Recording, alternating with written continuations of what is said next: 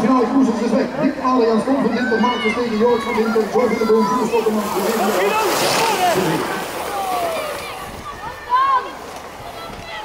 Wie is hier in deze A-finale nog het meest van power gezien in de benen?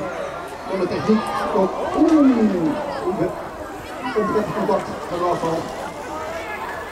Nummertje 396 Dick Adriaan we als eerste komen. De we nummer 34. En nummer 3, 34, Job van Dinter en nummer 3, Tom van Dinter. Inga Vera en Spieren zag ik nog. Van de die krijgt nog 8.